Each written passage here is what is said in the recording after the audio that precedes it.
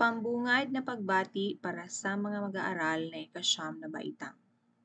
Maligayang pagdating sa ating new normal na klase. Ako nga pala si Binibining Queenie Tuan, ang iyong guro sa Araling Panlipunan, Grade 9. So, sa araw na ito ay pag-uusapan natin o tatalakay natin ang tungkol sa ang inflasyon.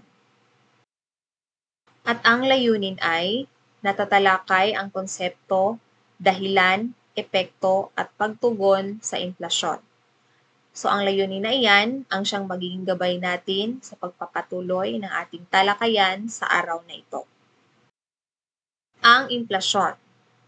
So ito ay ang pagbabago sa presyo ng mga produkto at serbisyo sa iba't ibang panahon ay pangkaraniwang nagaganap. Subalit, kung ang pagbabago ay dulot ng pangkalahatang pagtaas ng presyo, pagbaba sa halaga ng salapi, at may negative, negatibong epekto sa tao, ang kalagayang ito ay bunga ng inflasyon.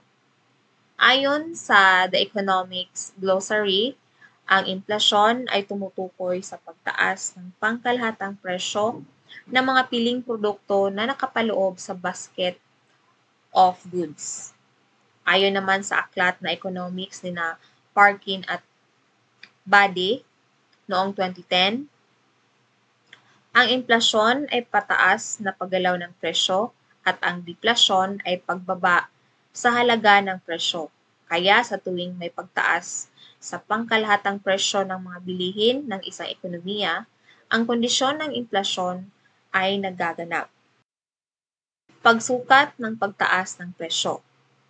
Karaniwang ginagamit sa pagsukat ng inflasyon ang Consumer Price Index or ang CPI upang mapag-aralan ang pagbabago ng presyo ng mga produkto. Ang pamahalaan ay nagtatalaga ng mga piling produktong nakapaloob sa basket of goods. Ang mga nasabing produkto ay kumakatawan sa mga pangunahing pangangailangan at pinagkakagastusan ng mamamayan.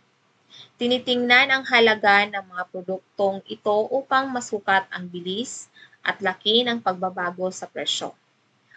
Mula sa market basket, ang price index ay nabubuo sa isang na or nabubuo na siyang kumakatawan sa kabuuan at average na pagbabago ng mga presyo sa lahat ng bilihin. Ang price index ay depende sa uri ng bilihin na gustong suriin ibang uri ng price index. So, una dyan ay ang GNP, Implicit Price Index or ang GNP deflator. Ito ang average price index na ginagamit para mapababa ang halaga ng kasalukuyang GN GNP at masukat ang totoong GNP. Ito ang sumusukat sa pangkalahatang antas ng presyo ng mga produkto at serbisyong nagawa ng ekonomiya sa loob ng isang taon. Pangalawa ay ang Wholesale or Producer Price Index or PPI. Index ng mga presyong binabayaran ng mga tindahang nagtitingi para sa mga produktong muli nilang ibebenta sa mga mamimili. Sunod ay ang Consumer Price Index or ang CPI. Sinusukat ang pagbabago ng presyo ng mga produkto at serbisyong ginagamit ng mga consumer. Batayan sa pag-compute ng CPI ang, ay ang presyo at dami ng produktong kadalasang kinukonsumo ng bawat pamilya na nasa loob ng tinatawag na market basket. Ang market basket ay ginagamit din upang masukat ang antas ng pamumuhay ng mga consumer. Makikita sa talahanayan ang hypothetical na pangkat ng mga produktong karaniwang kinukonsumo ng pamilyang. Weighted price ng pangkat ng mga produktong kinukonsumo ng isang pamilyang Pilipino na may limang miyembro bawat linggo. So, upang makuha ang Consumer Price Index, gamitin ang formula sa ibaba. Pagbatayan ang talanayan sa itaas at gamitin ang taong 2019 bilang batayang taon. Tandaan na ang Consumer Price Index ay sumusukat sa average na pagbabago ng mga produktong karaniwang kinukonsumo ng pamilyang Pilipino.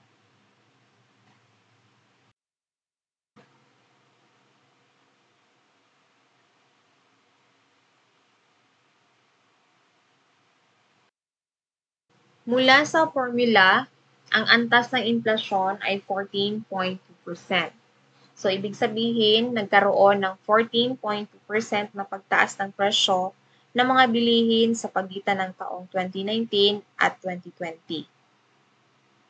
Nangangahulugang mas mahal ang bilihin ngayon, 2020, kumpara noong nakaraang taong 2019 dahil sa inflasyon.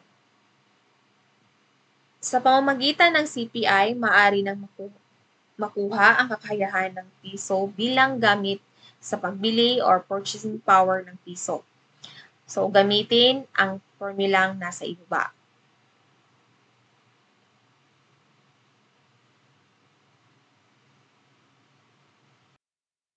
Pagsukat ng pagtaas ng presyo.